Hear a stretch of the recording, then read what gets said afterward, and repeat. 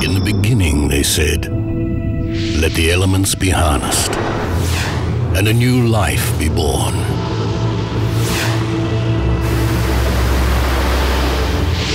Three times it shall pass through the test of fire, and for five weeks it shall rest. On the sixth week they saw that it was ready, they knew what they made was good.